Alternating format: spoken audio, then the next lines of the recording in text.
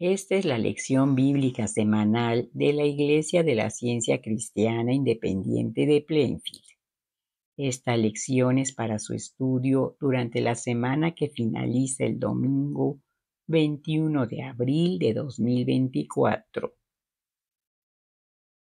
Tema Doctrina de la expiación. Texto de oro Lucas. Hijo, tú siempre estás conmigo, y todas mis cosas son tuyas. Lectura alternada, Romanos y Hechos. ¿Qué pues diremos a esto? Si Dios es por nosotros, ¿quién contra nosotros? ¿Quién nos separará del amor de Cristo? ¿Tribulación o angustia o persecución o hambre o desnudez, o peligro, o espada. Antes en todas estas cosas somos más que vencedores por medio de aquel que nos amó. Por lo cual estoy seguro de que ni la muerte, ni la vida, ni ángeles, ni principados, ni potestades, ni lo presente, ni lo porvenir, ni lo alto, ni lo profundo, ni ninguna otra cosa creada nos podrá separar del amor de Dios que es en Cristo Jesús, Señor nuestro. Porque en Él vivimos y nos movemos y somos. Lección Sermón. Leeré de la Biblia. Génesis. Entonces dijo Dios, hagamos al hombre a nuestra imagen, conforme a nuestra semejanza.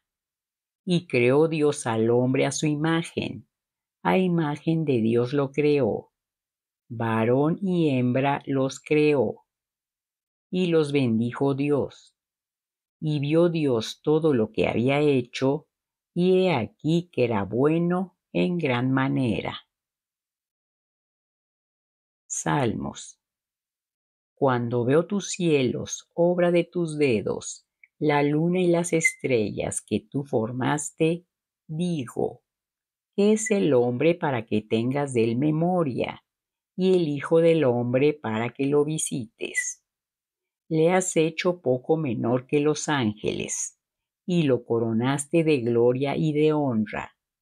Le hiciste señorear sobre las obras de tus manos. Todo lo pusiste debajo de sus pies.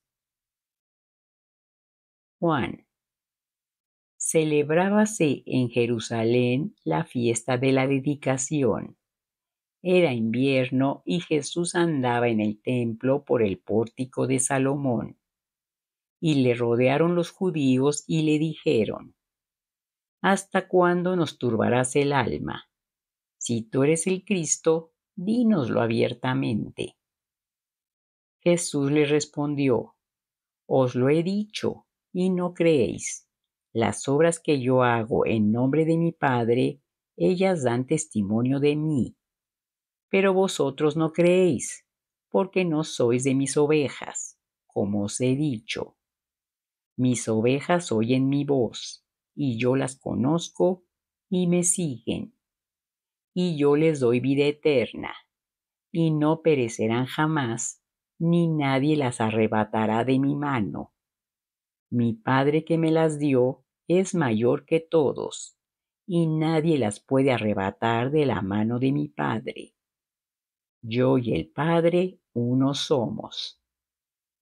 Entonces los judíos volvieron a tomar piedras para apedrearle. Jesús le respondió, Muchas buenas obras os he mostrado de mi Padre ¿por cuál de ellas me apedreáis?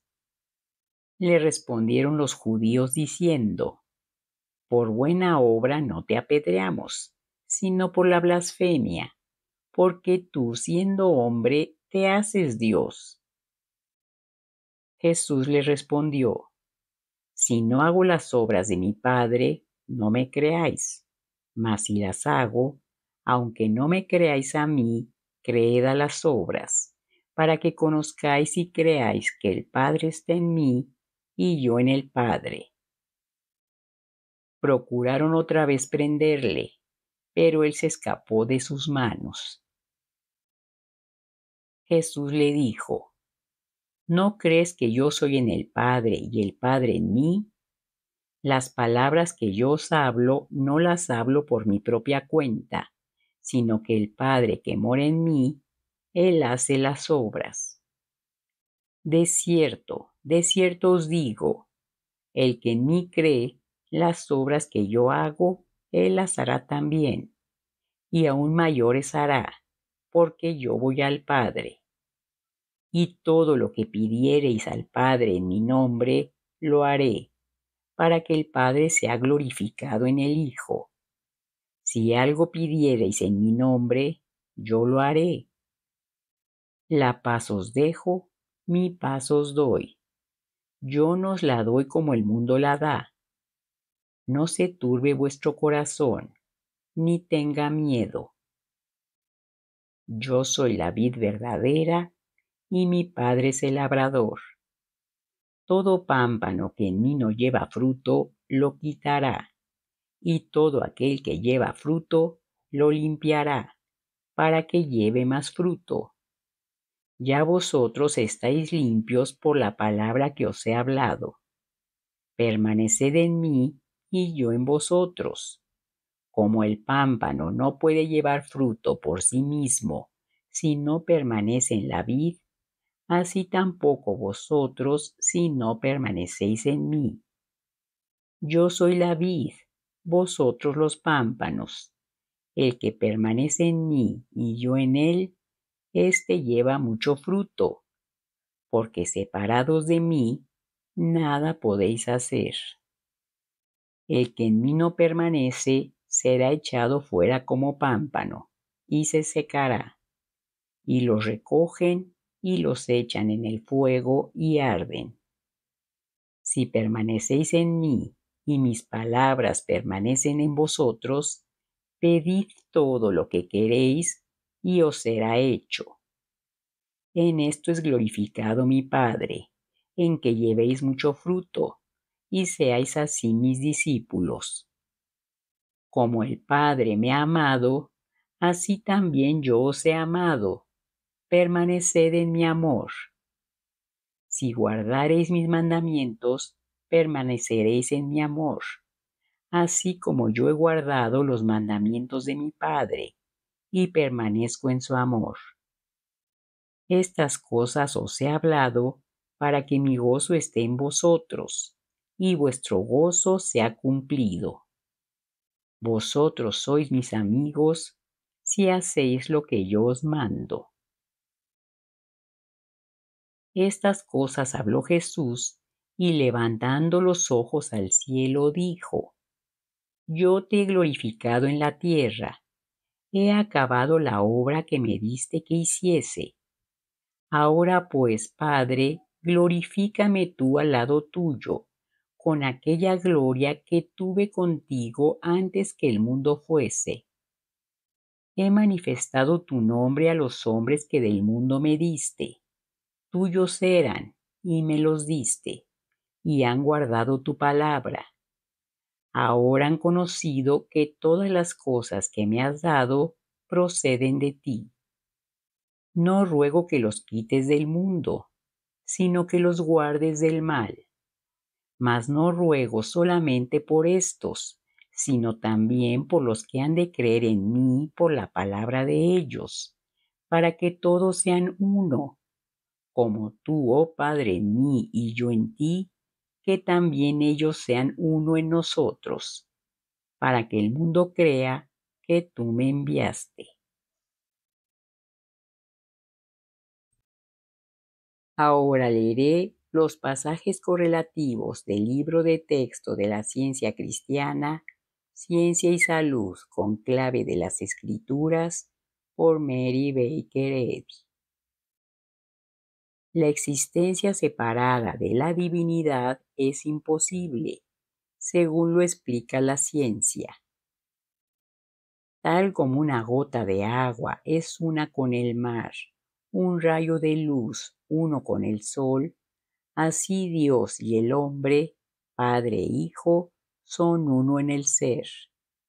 Las escrituras dicen, porque en Él vivimos y nos movemos y somos. Dios, el gran yo soy, el que todo lo sabe, que todo lo ve, que es todo acción, todo sabiduría, todo amor, y que es eterno. Principio, mente, alma, espíritu, vida, verdad, amor, toda sustancia, inteligencia. Pregunta, ¿qué es el hombre? Respuesta, el hombre no es materia, no está constituido de cerebro, sangre, huesos y otros elementos materiales. Las escrituras nos informan que el hombre está hecho a imagen y semejanza de Dios. La materia no es esa semejanza. La semejanza del espíritu no puede ser tan desemejante al espíritu. El hombre es espiritual y perfecto, y porque es espiritual y perfecto, tiene que ser comprendido así en la ciencia cristiana. El hombre es idea, la imagen del amor. No es físico. Es la compuesta idea de Dios e incluye todas las ideas correctas. El término genérico de todo lo que refleja la imagen y semejanza de Dios la consciente identidad del ser como se revela en la ciencia, en la cual el hombre es el reflejo de Dios o mente y por tanto es eterno. Lo que no tiene mente separada de Dios, lo que no tiene ni una sola cualidad que no derive de la deidad, lo que no posee de sí mismo ni vida ni inteligencia ni poder creativo, sino que refleja espiritualmente todo lo que pertenece a su Hacedor. La creencia de que el hombre tiene existencia o mente separadas de Dios es un error que va desapareciendo. Con la ciencia divina, Jesús enfrentó ese error y demostró su nada.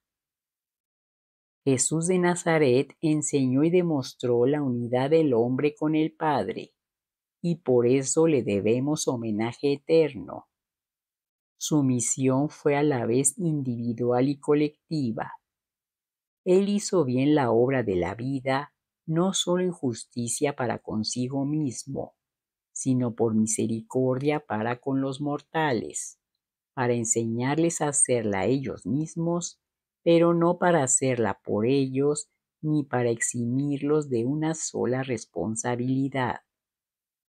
Jesús obró valientemente en contra del testimonio acreditado de los sentidos, en contra de los credos y las prácticas de los fariseos, y refutó a todos los opositores con su poder curativo.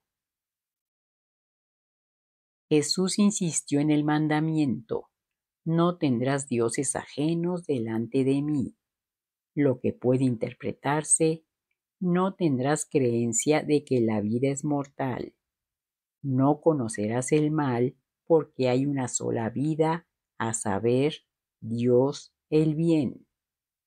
Dio a César lo que es de César y a Dios lo que es de Dios. Por último, no rindió ningún homenaje a formas de doctrina ni a teorías humanas, sino que actuó y habló según se sentía movido, no por espíritus, sino por el espíritu. Enseñó a sus seguidores que su religión tenía un principio divino que podía expulsar al error y sanar tanto al enfermo como al pecador no pretendió tener inteligencia, acción ni vida separadas de Dios. El advenimiento de Jesús de Nazaret marcó el primer siglo de la era cristiana pero el Cristo no tiene principio de años ni fin de días. A través de todas las generaciones, tanto antes como después de la era cristiana, el Cristo, como idea espiritual, reflejo de Dios, ha venido con cierta medida de poder y gracia a todos los que estaban preparados para recibir al Cristo la verdad. Abraham, Jacob, Moisés y los profetas captaron gloriosas vislumbres del Mesías o Cristo que bautizaron a esos videntes con la naturaleza divina, la esencia del amor. La imagen divina, idea divina o Cristo era, es y siempre será inseparable del principio divino Dios. Jesús se refirió a esa unidad de su identidad espiritual así. Antes que Abraham fuese, yo soy. Yo y el Padre uno somos. El Padre mayor es que yo. El Espíritu único incluye todas las identidades. Con esas declaraciones Jesús quiso decir no que Jesús humano era o es eterno, sino que la idea divina o el Cristo lo era y lo es, y por tanto antecedió a Abraham. No que Jesús corpóreo era uno con el Padre, sino que la idea espiritual o el Cristo mora por siempre en el seno del Padre Dios desde donde ilumina al cielo y a la tierra. No que el Padre sea más grande que el Espíritu, es Dios, pero sí más grande, infinitamente más grande que el Jesús corpóreo cuya carrera terrenal fue breve. Dios, el principio divino del hombre, y el hombre a semejanza de Dios, son inseparables, armoniosos y eternos.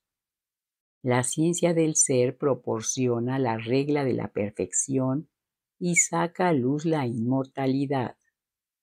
Dios y el hombre no son una y la misma cosa, pero en el orden de la ciencia divina, Dios y el hombre coexisten y son eternos. Dios es la mente paterna, y el hombre es linaje espiritual de Dios. Para ser verdaderamente feliz, el hombre debe armonizar con su principio el amor divino. El Hijo debe estar de acuerdo con el Padre, en conformidad con Cristo. Según la ciencia divina, el hombre es en cierta medida tan perfecto como la mente que lo forma. Dios es el creador del hombre, y permaneciendo perfecto el principio divino del hombre, la idea divina o reflejo, el hombre, permanece perfecto. El hombre es la expresión del ser de Dios.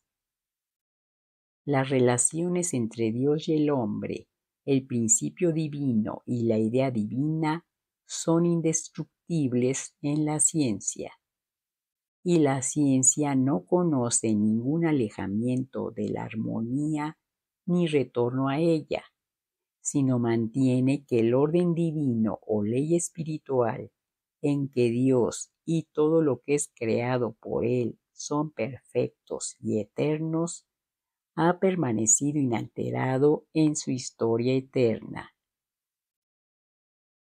El ego único, la mente única, o el Espíritu único, llamado Dios, es individualidad infinita que provee toda forma y gracia y refleja realidad y divinidad en el hombre y en las cosas espirituales e individuales.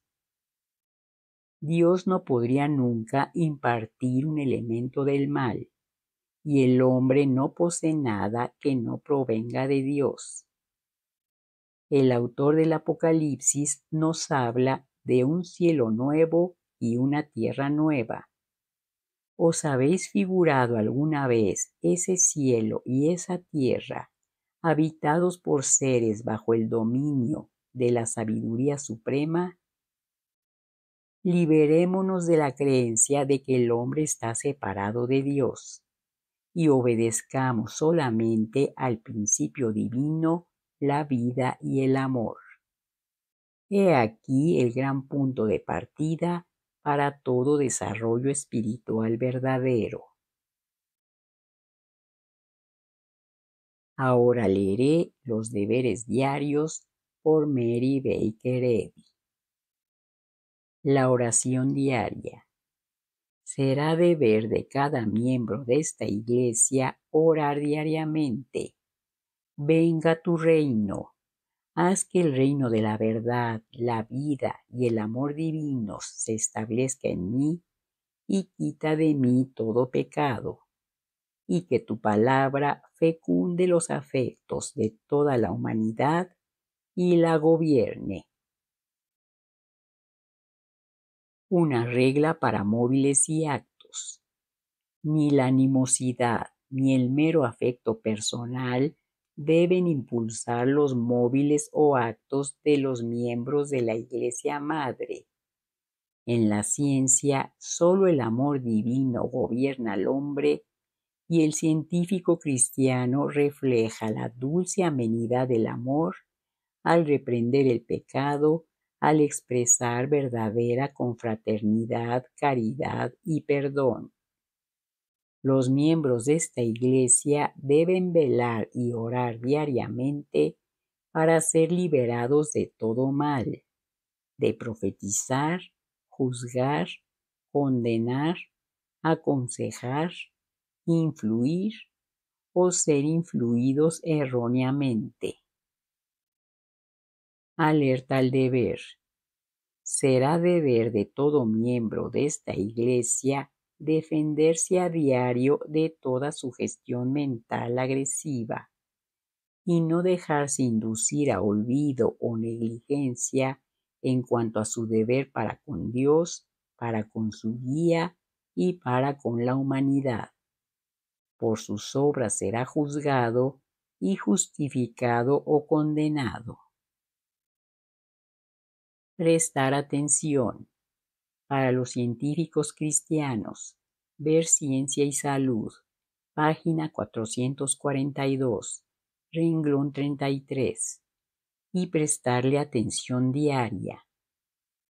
Científicos cristianos, sed una ley para con vosotros mismos que la mala práctica mental no puede dañaros, ni dormidos ni despiertos. Gracias por escuchar y que Dios les bendiga.